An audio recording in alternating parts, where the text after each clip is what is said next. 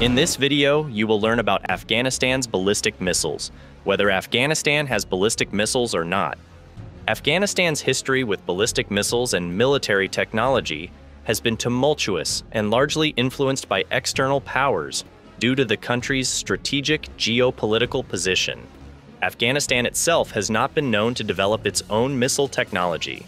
Rather, its experience with missiles is primarily through acquisitions made during various military conflicts and regimes that have controlled the territory throughout recent history.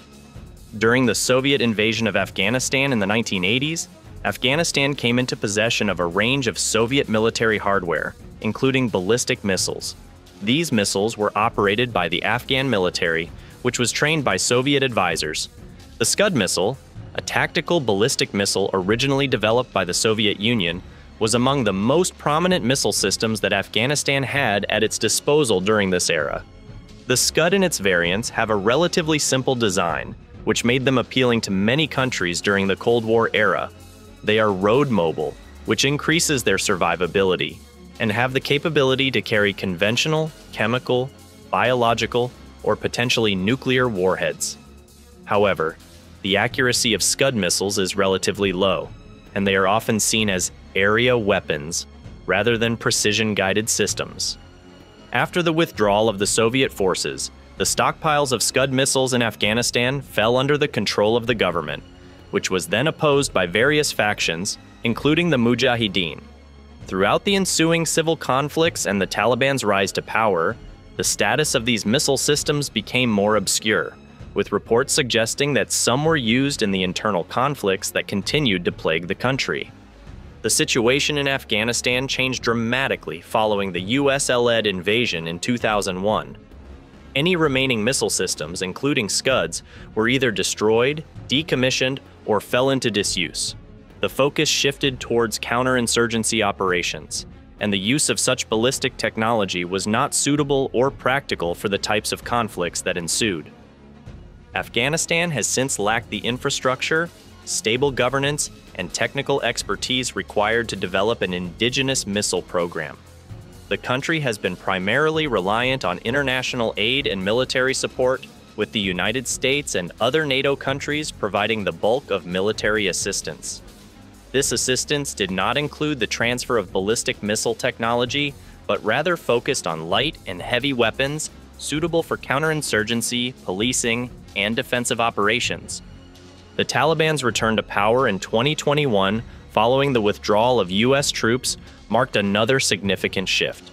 The future of Afghanistan's missile capabilities under the Taliban remains uncertain.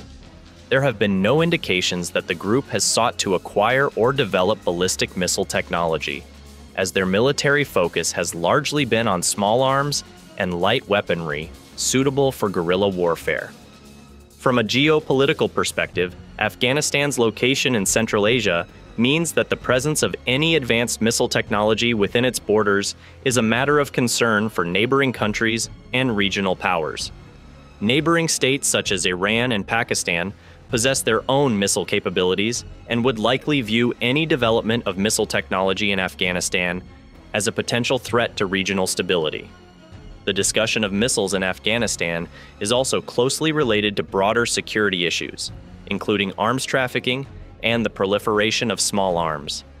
The porous borders and ongoing conflict in the region have made Afghanistan a hub for illicit arms trade, raising concerns that missile technology could fall into the hands of non state actors or terrorist groups. International efforts to prevent the proliferation of missile technology in unstable regions include the Missile Technology Control Regime, MTCR, an informal political understanding among states that seek to limit the proliferation of missiles and missile technology. Afghanistan's capacity to adhere to such regimes is severely limited by its lack of central governance and ongoing internal conflict. The potential for Afghanistan to acquire missile technology in the future depends on several factors, including the nature of the regime in power, its relationship with foreign nations that might supply such technology, and the overall security situation in the country. As of now, however, Afghanistan's military capabilities remain limited, and its involvement with missile technology is a historical footnote rather than a current reality. Given these circumstances, Afghanistan's connection to missile technology is not an immediate issue of concern in terms of development or deployment. The country's ongoing challenges are centered more on achieving peace, stability, and the reconstruction of its infrastructure and society. The focus for the international community remains on humanitarian assistance, counter-terrorism, and preventing Afghanistan from becoming a base for destabilizing activities in the region. The current security landscape in Afghanistan does not suggest an environment conducive to the development or significant enhancement of missile capabilities. The Taliban, despite their control of the country, face a plethora of challenges that likely relegate the acquisition of missile technology to a lower priority compared to other more pressing issues such as governance, economic stability, and international recognition. Should the situation in Afghanistan stabilize and the government seek to reestablish its military capabilities, the development or acquisition of missile technology could potentially become a strategic goal.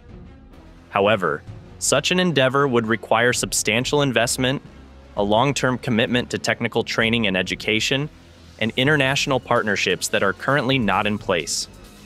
Moreover, the global community, particularly countries with advanced missile technologies, are cautious about the proliferation of such capabilities. There is a concerted effort to ensure that missile technology, especially that which can carry weapons of mass destruction, does not fall into the hands of actors who may use it for destabilizing activities or in contravention of international law. This stance is particularly strong in regions like Central Asia, where the potential for security issues to cross borders is high. Afghanistan's history with missiles is largely a vestige of past conflicts. While the country has seen the deployment and use of ballistic missile technology within its borders, it has not been an active participant in the development or significant use of such technology in recent years. The future of missile technology in Afghanistan will largely be determined by the country's ability to stabilize and the international community's efforts to support peace and security in the region. Thank you for watching.